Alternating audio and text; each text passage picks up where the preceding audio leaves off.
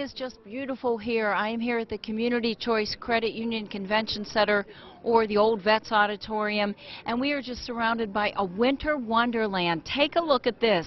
You can just see all the beautiful trees back here, beautifully decorated, get lots of ideas for your home.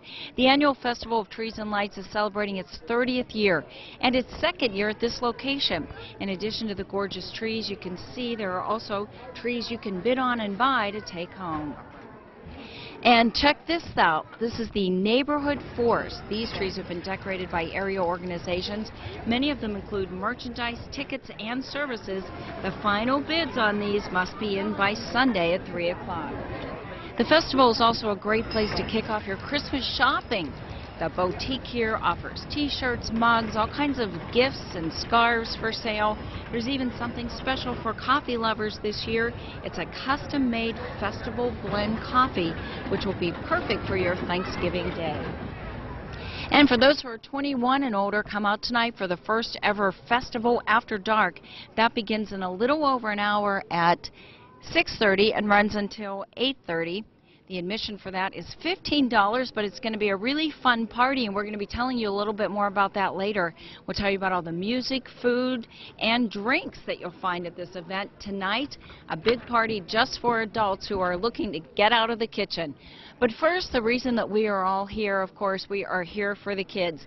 And joining me is the president of Blank Children's Hospital, David Stark, and also Brennan Buckley from Iowa Realty. We get to see you here every year. Mm -hmm. And tell us how important this is for the hospital.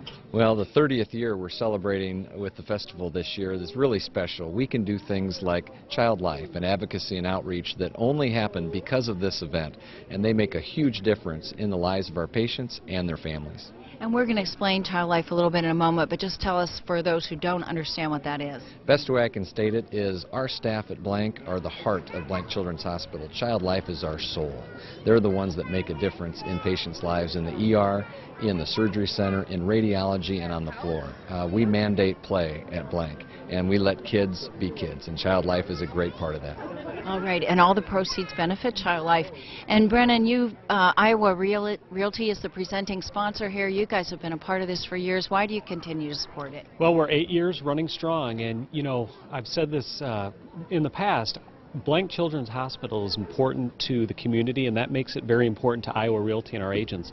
We're able to talk about this jewel of the community to families moving in, and it, it's a big reason why a lot of people look at Central Iowa. So uh, our realtors and, and our company are big supporters of Blank, and we're proud to be so.